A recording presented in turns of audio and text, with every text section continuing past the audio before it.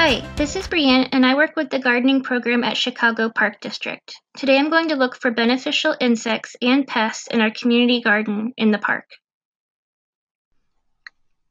Here's a bumblebee visiting borage in the herb garden. Bumblebees are native to Illinois. They overwinter in the soil and emerge in the late spring. This bumblebee is drinking nectar and collecting pollen on her back legs. While doing this, she's inadvertently pollinating the flower.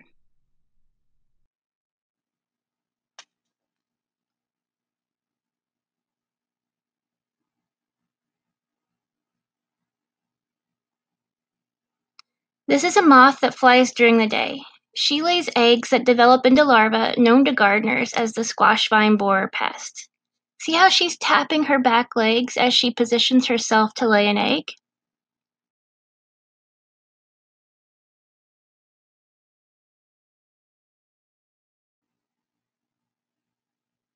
Here's the egg. See how tiny it is? Here's a close-up of the egg. Isn't it beautiful? But you will need to remove this if you want to save your summer squash. Here are two squash bugs. One of them will lay eggs that will develop into nymphs that will eat the leaves of our squash plant.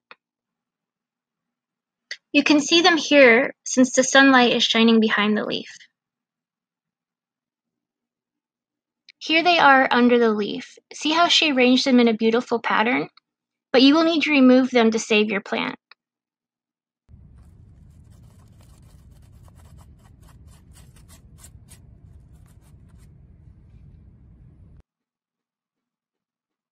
Oh, here's a lady beetle. She's considered a beneficial insect since she eats aphids, which are considered pests in the vegetable garden. Where do you think she's going? What do you think she's looking for? Here are some lady beetle eggs. They're bright yellow, and she laid them on the underside of the kale leaf.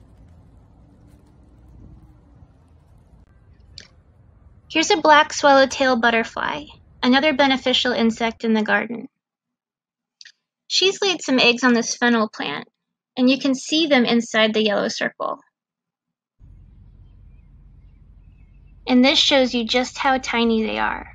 Black swallowtail butterflies are considered beneficial because they pollinate flowers in the garden.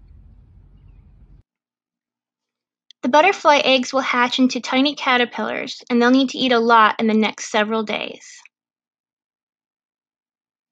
Oh, here's an isopod, also called a roly-poly or pill bug.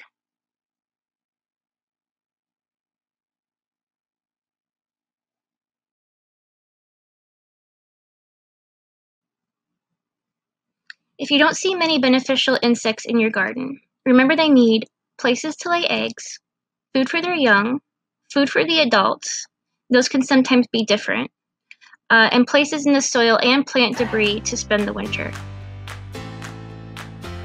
Thanks for watching this video. For more information about community gardens in the parks and gardening programs for youth and adults, check out our website, chicagoparkdistrict.com.